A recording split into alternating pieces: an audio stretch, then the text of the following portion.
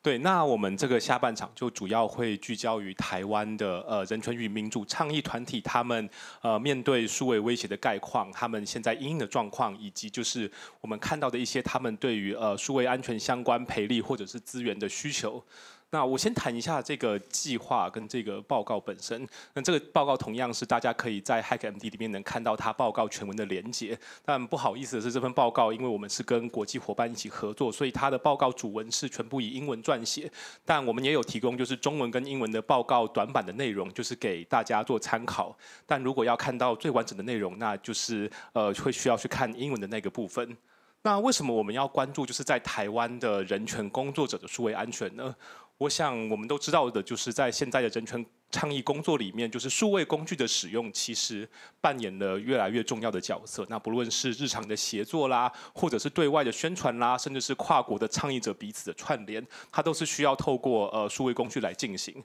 但是呢，就是呃人权工作者他们也面临了呃不断提高的数位威胁。那这些威胁有的它是比较一般性的，就是所有的一般人都会遇到的，像是网络上的诈骗啦，或是一些呃恶意的第三人希望窃取你有价值的资讯。但也有一一些是比较专属于人权工作者会面临到的数位威胁，那就是来自于呃威权政府他在数位空间呃对于人权工作者发动的一些打压或者是一些呃其他类型的攻击的行动。那这个部分呢，在东南亚其实已经这种数位威权的威胁已经有越来越就是上升的趋势，像是在缅甸就已经发现有些人权工作者跟记者他们的手机有呃被植入就是非常恶名昭彰的间谍软体 Pegasus。那另外也是缅甸也成立了一个呃 Task Force Thirty Five 的一个办公室。那它的主要的目的就是要在社交媒体上面，除了进行大外宣之外，也是要呃去动员呃打压在社群媒体进行倡议的工作者，包括呃使用仇恨言论啦，或是用其他的方式来去压制他们的倡议空间。那在台湾的脉络呢，就是呃，因为我们也是处在就是整个东亚的算是抵抗威权的。地缘政治的前缘，所以不只是官方的单位，那民间也其实也有受到一些呃来自中国的数位攻击。那这个包括在去年裴洛西来台湾的时候，呃长老教会的网站就有受到攻击。那另外是在今年上个月才有一个算是蛮大的消息，就是有一个呃安巡信息文件的外泄。那这个安巡信息是什么呢？它其实是一间来自中国的治安公司。那它的内部的工作文件在近期就是被人呃流出来放到网络上，在里面就有提到说他承接了非。常多来自中国政府的呃委托案，其中就有包括要去监控跟攻击在台湾的人权组织，所以从这里可以看到，其实，在台湾的人权工作者是面临相当程度的数位威胁。但是呢，我们对于他们到底呃准备程度如何，他们的抵御状况如何，他们实际的呃赔利的需求又是什么？这个部分其实我们是觉得呃了解是比较欠缺的，所以我们就跟呃国际伙伴。Open Technology Fund 的合作来去试着去做一些调查，去建立一个初步的蓝图，才能拿来作为呃下一步去提升台湾的公民社会数位韧性的一个基础。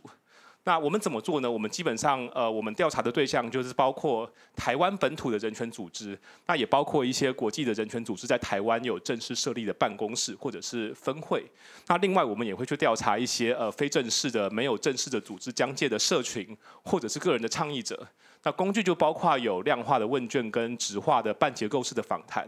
那内容就是有去了解他们的呃整个组织的现况，他们怎么使用数位工具啦，他们所面临到的数位威胁过往的经验是什么，还有就是他们有没有一些应应的措施，以及之后如果我们有一些呃相关的赔利或者是呃去帮助他们的计划的话，他们实际上的需求会长什么样子？那总共呢，我们收集到了三十五份的问卷，然后也进行了三次的访谈。那这个现况呢，我们可以先稍微看一下，在这些呃问卷回应的工作者他们的样态。那基本上绝大多数，大概有六成，就是以台湾正式注册的本地组织为主。那他们的组织人数其实跟国际组织一样，都是大部分都在十元十人以下，就是属于比较呃小型的组织。那相对来讲，社群比较特别的是说，因为社群它就是一个比较没有正式设立的团体，所以在里面其实是呃都没有任何的全职员工。而如果我们看到下面那一个，就是呃数位工具使用的状况。可以看到，不意外的，因为台湾已经是一个数位发展程度非常高的地方，所以其实大部分的组织，它的日常的运作都已经高度的仰赖数位工具，不管是呃线上会议啦、文书处理啦，或者是通讯啦等等，都有超过呃九成的使用率。但是比较值得注意的是，其中已经有超过一半的组织告诉我们说，他们已经开始在使用生成式 AI 那样。所以这个部分，我们要怎么样去协助这些组织去呃应应使用生成是 AI 所带来的一些隐私或是其他方面的风险？这个是一个。可能可以考虑未来去思考的方向。那关于他们所面临到的数位威胁与风险意识呢？我们特别看到的是，这三十五个呃填写我们的问卷的组织都回报说，他们曾经遭受到某种程度的数位攻击。那不管是在社群平台上的一种比较集体性的骚扰啦，或是检举啦，或者是直接针对他们的工作的账号或资料的攻击，都曾经有发生过。那其中根据我们的访问，这些组织他们都比较担心的是这些呃直接针对他们工作的账号或资料的攻击。那其中有超过一半的组织其实都。有经历过那样，那这所有的组织在遭受这样的攻击之后，又有超过呃有将近百分之四十的组织，它是有实际上受到账号或资料的伤害的。那其中只有大概百分之二十八的组织是有成功的，就是呃避免就是攻击造成他们的损失。所以这个部分我们可以看到，其实我们是有需要去进一步提。强化这些组织他们在数位安全方面的韧性的，因为不管是遭受攻击的状况或是回应的状况，其实都呃相对的比较严峻一些呢。而且就是在风险意识上，其实绝大多数的组织，他们都认为他们自己的自身的数位防御的准备程度是不足的。那其中有百分之四十五点七的组织认为他们的防御的准备程度很低，那甚至有百分之十一点四的组织认为他们的准备程度是非常低的。所以相对来讲，他们的自我的信心比较弱。而在其中呢，就是有超过百分之八十的组织认为说，攻击他们的来源可能是威权国家的政府。那当然，因为这次作为一个普查性的呃研究的限制，是我们没有办法明确的去指认说他们所遭受的攻击有多少是来自境外的威权政体。但是我们在访谈中已经发现，有一些组织他回报说，他们曾经受到的攻击是呃有钓鱼信件直接伪装成是球员的个案，然后所谈及的内容也是涉及他们的业务。所以其实这样的一个攻击，其实相对来讲，它就可以比较直接的跟呃可能来自境外威权政府的一些呃行动产生关联哦，所以这个现象是确实存在，也已经发生的。那。为因为为了要应应这样的现况呢，我们就必须要去对他们的整个所身处的工作的数位环境做一些调查，所以我们就有去调查说他们有没有去好好的区分工作跟个人的装备啦、的设备啦，或者是他们怎么去管理他们的账号权限，或是他们怎么去的组织里面的资讯科技的人力的充分程度如何，或是安全政策的完备程度如何，还有一些相关的数位安全的实践等等，包括网络使用啦、密码强度啦，或者是装置跟资料有没有去适当的进行一些备份。那但这个部部分我们就发现说，虽然大部分的组织他们都有一定程度的一些呃相关的政策的导入，但是呢，仍然呈现一个信心不足的状态。那是为什么？那我们这里就希望就提供一个比较脉络化的一个理解，就是呃我们在透过访谈发现，大部分组织它的数位组织里面的数位环境都处于一个比较拼装，或者我们把我们把它称为 patchwork 的状态。那个意思是说，因为整个组织相对而言，大部分的人权工作者他们缺乏呃长期处于一个缺乏经费跟能力的状况，所以当大部分的资源被投入倡议的时候，对于如何去架设自己组织里面的数位环境，包括它的基础设施、它的协作，它都是比较是以一种比较呃随机应变的、比较没有整体规划的一种拼凑式的方式来做出一个比较临时性的解决方案。那我可以提供的一个我们访谈到的一个个案哦，比如说。有一个组织，他一开始他在他们的办公室放了一个伺服器。来架他们的官方网站。那后来呢，就是第二个进来的组织的人就决定把这个网站开始搬移到另外一个云端的一个架站服务里面。但是基于种种原因呢，这个搬移的过程就没有完成。但后来又经过了各种的人事的更迭，所以变得是组织里面开始没有人非常的了解他们的网站到底是怎么样被架设的，但也不敢去任意的动它，因为怕说，比如说，如果我们把地端的伺服器给关掉的话，会不会就倒站了？因为没有人知道它的维护的状况。那后来这个地端的伺服器，它就变成了一个就是自然的破口，被人家植入了恶意程式。所以从这个案例里面，我们我们就可以看到它的所谓的一个拼装的状况，就是它的官方网站跟账号的资料管理比较破碎化。那他会去试图组合多种的解决方案来满足需求，但是却又没有办法有明确的管理政策跟追踪机制。然后留下的旧系统呢，因为人事的更迭也存在的维护上的困难。那这样的一个拼装的数位环境，也对于就是数位安全的提升有很大的挑战，因为。当你对你组织的现况缺乏掌握的时候，你就很难去导入一个就是组织层级的系统性的政策来去因应你的风险，然后来去进行一些自然的落实跟追踪。所以，大部分我们受访的组织里面，他们的安全业务都仰赖少数就是有热忱的成员来去做。然后，因为就是没有办法形成完整的成文规范，所以呢，就是呃比较是以一种做中学啦或者事务的方式来进行。然后，大部分的数位安全的实践其实是个人化的，就是仰赖你个人的意愿或你个人的风风险。意识，但是你就没有办法去，就是呃，去有一个因应组织对于自己的威胁评估建模的结果，来去有一个呃系统化的因应哈。那他们的赔率需求呢？我最后再花呃一分钟讲一下，就是我们发现其实大部分的组织他们都很愿意去呃接受未来的赔率的方案。但是他们的关切是在于说，因为他们的资源缺乏，所以他们很担心培力计划的永续性。那个意思是说，当我的组织每年只有固定的资源能投入，就是数位安全的提升的时候，你带来的培力计划是否在计划结束之后，我还有办法独立用我现有的资源来维护？这是他们其实会最犹豫的一点。所以我们认为说，一个具有全面性的一个数位安全培力的方案，其实是应该协助组织在他们限定的资源范围内，做出一个可行性的。选择就这个选择，可能它并不是在呃安全上是最完美的，但它确实可以就是最应应它的需要，而且可以靠他们自己的呃运作来达到永续的。所以它这就是我们呃一个比较初步的发现。那详细的内容就请大家参阅我们的报告呢，谢谢。非常谢谢。是，那也是在听到呃。嘉硕他很详细的去介绍了一些现在现实概况的部分。我觉得接下来我这边我想要再花再多花两到三分钟时间来讲说，当我们看见数位威胁之后，我们要怎么样开始行动？我必须要说，在我们过往的在我们过往的那四个月里面，其实对我来说我非常的震惊。我原本以为攻击很。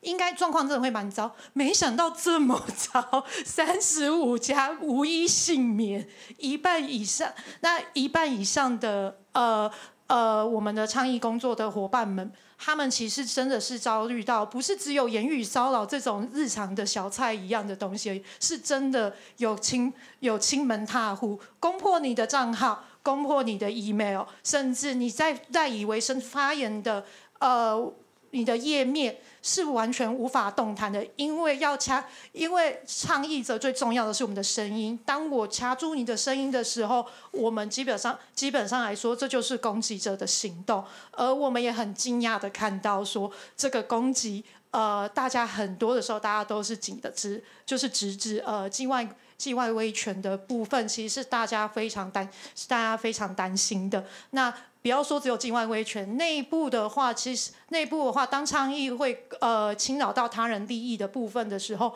其实是也会带来很多的不同的呃程度的威胁。因此，当我们看到这么 large scale 的需要帮忙，可能会有需要帮忙，也不一定是需要我们帮忙，但是需要协助的公民团体组织的时候，我们也很想一个一个协助。但是老实说，OCF 只有一个，然后我们也是一个。中小型组织，所以我们后来决定，我们后来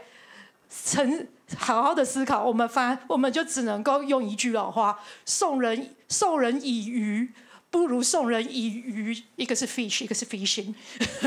一个。所以基本上来说，我们能做的是什么？我们也思考了，我们也思考了一阵子，我们发现我们能做的是提供，先提供工具箱给给大家。因为尤其是面对数位威胁，不同的组织、不同的议题、呃，不同的呃 target audience，所以其实所需要的工具专家，甚至呃建立你数位治安的计划是完全不同的。所以这个也是为什么我们发现，我们提供工具箱会是比提供 solution 来的更重要。嗯，是。所以那我们工具箱里面，我们到底？我们也是在深思一个中小型的一个在地组织，我们到底能够做的短期之内能够做到的是什么？那基本上来说，我们能够做到的，先提供了两个工具，一个是资讯，另外一个是职能。然后一个的话，它可能不太会是今年有办法做成，就是呃，就是我们的数位威胁概况更完整的一个报告。那另外一个部分的话是大约在冬季，就是今年的冬季，我们应该有，我们应该能够继续在维持人权跟劳权的情况之下，我们是能够先发展出一个数位安全赔利的一个工具包。那为什么我们觉得我们提供工具箱里面，第一个我们要提供资讯呢？因为我们真的，当我们在讲到数位安全的时候，我们真的听到很多的声音是说，呃。就是 founder 他可能不觉得这个事情是 priority，你要倡议的东西跟 priority。那呃，那另外一个部分的话是呃。自己的员工可能会觉得说，我要做那么多事情的话，数位安全是我的 priority 嘛？那另外一个部分的时候，我们是真的看到很多的数，很多的倡议者，他们把他们倡议的议题比自己的人身安全看得还更重要。所以，因此有资讯才能够找到钱，才能够让团队去重视，也可以才让跨界的人更看到说，公民团体对我们不是只。不是只有赚钱的产业需要治安，我们公民团体，我们真的也更需要治安。那另外一个部分的话，呃，工具包的部分的话，是我们会，我们是针对这次呃初步，我们是针对这次开矿研究的基础之下，我们在看见比较常见的威胁以及实际需要的呃知识。知识点，然后呢，我们规划成六九大单元。这九大单元的话呢，是完全因为学习数位科技就已经够辛苦了，所以它会是个台湾繁中版的工具包。那它的内容也。是，对，所以它内容的部分，它包含四个部分：基本概念、重视知识、知识重点知识列表、操作手册，以及最重要，当我们说 patch pattern，当我们在说拼错式的这个文化的时候，我们会有提供一个侦测的范本，所以因此是有更多的空间让技术专家能够跟公民组织一起去讨论如何形成长久的政策。对，那到底那在大在冬季来临之前？有什么我们现在 O C 的 F 能够提供呢？呃，我觉得用其实我们就只有两，我们有 O C F 最重要的是两个，一个是连接，呃，我们是从一群科技宅一起起家的一个组织，但所以基本上来说，当公民组织们如果有任何数位安全相关的一些疑虑的时候，可以透过我们作为一个连接点去连接到。呃，正确到底正确的问题问题症结在该如何去跟科技科技呃人员呃求助这个这个部分。那另外一个是大家刚刚看到工具包有九单单元，可能就想要说这么厚一本，对不对？哇，可能还没准备好，没关系，我们有安全防御手册。目前的话，在我们的官网上面就可以找得到。它其实就是一个小的课，呃，通识课程，非常简单，而且我们还有小故事引导大家进入所有的数位安全概念。那而且更重要的是，我们六月到七月就可以再版，所以在冬天来临之前，夏天就可以先看到通识课程喽。是，所以这个的话呢，是我说好，这个的话呢。所有的知识开放文化基金会是个知识公开的，呃，非常标榜知识公开的一个基金会。所有的不资讯都可以在我们的官网上面呃公开分享，而且公开下载。非常谢谢大家，这就是我们过去四个月的一个成果跟报告。谢谢。